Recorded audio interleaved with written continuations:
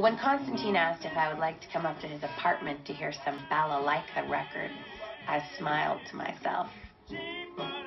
My mother had always told me never, under any circumstances, to go with a man to a man's rooms after an evening out. It could mean only one thing. I am very fond of balalaika music, I said.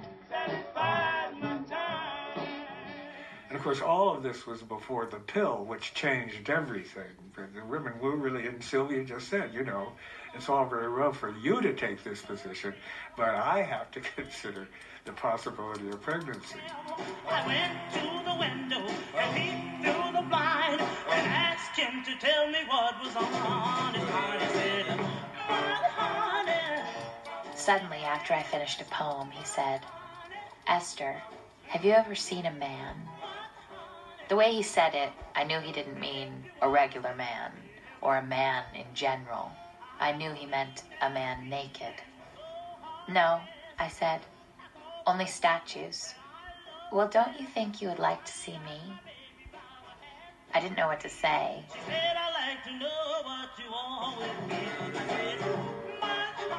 All I'd heard about really was how fine and clean Buddy was, and how he was the kind of person a girl should stay fine and clean for. So I didn't really see the harm in anything Buddy would think up to do. Well, all right, I guess so, I said. I stared at Buddy while he unzipped his chino pants and took them off, and laid them on a chair, and then took off his underpants that were made of something like nylon fishnet. They're cool, he explained. And my mother always says they wash easily. Then he just stood there in front of me, and I kept on staring at him. The only thing I could think of was turkey neck and turkey gizzards, and I felt very depressed. The only alternative I could see was an eternity of hell for the rest of my life in a mental hospital.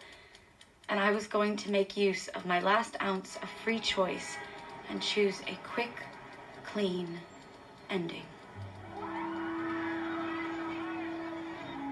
Suicide saved from seven story ledge.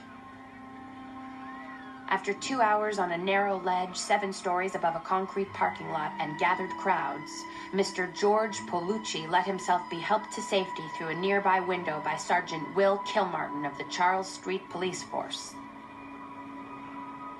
The trouble about jumping was that if you didn't pick the right number of stories, you might still be alive when you hit the bottom. I thought seven stories must be a safe distance. I immediately recognized some of the people in the book. Because it was a little bit uh, rough on some of them, I was glad that I wasn't included in it. I thought it was a very funny book, and I wasn't sure I was supposed to find it funny, but it was Sylvia representing her younger younger self, and I thought it fit the way we were at that time.